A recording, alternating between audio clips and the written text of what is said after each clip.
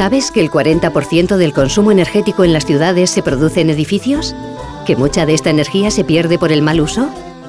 Calefacción o aire acondicionado a tope, equipos obsoletos o que se utilizan mal. Todo ello hace que el coste se dispare. ¿Cómo evitarlo? Optimizando el consumo, es decir, con una buena gestión energética. Una gestión global. ¿Cómo lo hacemos?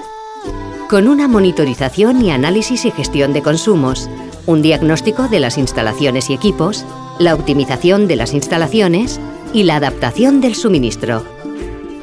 Con una gestión inteligente, las empresas ganan en competitividad, las ciudades son más sostenibles y nuestra vida más fácil.